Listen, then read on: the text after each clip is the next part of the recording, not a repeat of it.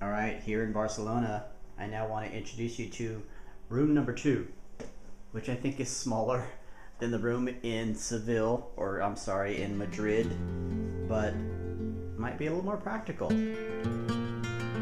It's a little more stylish. What